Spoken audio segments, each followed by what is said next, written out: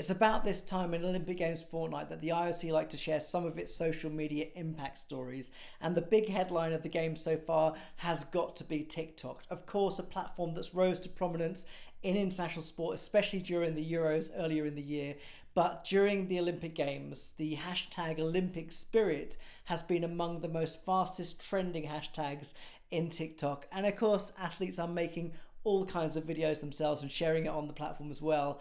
It's certainly one of the things you can count on for every Olympic Games is that the social media impact is always going to be more than the previous games and it's always going to be different each time. So I think in the past we've seen a lot of focus on YouTube and Instagram. Twitter's been a big one over the years. I even go back to Beijing 2008 with Flickr, which was a big photo sharing platform at the time, and certainly one of those threshold moments where the IOC went from being very anxious about things being shared about the Olympic Games to really encouraging it and supporting it and valuing it.